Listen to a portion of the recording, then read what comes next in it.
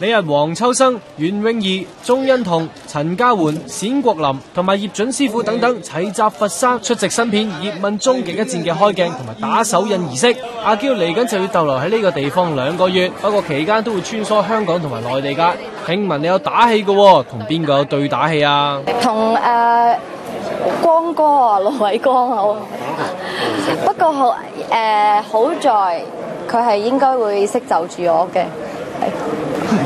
唔好打断我手，就得噶啦！